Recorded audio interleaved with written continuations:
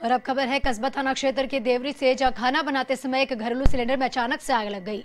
आपको बता दें कि पीड़ित कल्याण मेहता के घर में अचानक सिलेंडर ने आग पकड़ ली। इससे पहले आग पर काबू पाया जाता, उससे पहले ही सिलेंडर फट गया और सिलेंडर के फट जाने से पूरा घर तबाह हो गया। हालाँकि इस घटना में कोई जनहानि नहीं हुई और खबर मिलते ही ग्रामीणों की भीड़ मौके पर इकट्ठा हो गई और आग पर काबू पाने की कोशिश की। लेकिन आग बहुत तेज होने के चलते ग्रामीण आग पर काबू नहीं पा सके और सिलेंडर ब्लास्ट हो गया।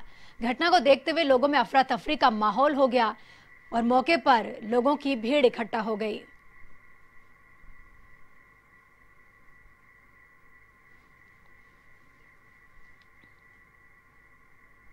देश और दुनिया की हर छोटी बड़ी खबर के लिए सब्सक्राइब करें एवन टीवी न्यूज़ साथ ही बेल आइकन को प्रेस करें ताकि आप पा सकें ताज़ा खबरों की नोटिफिकेशन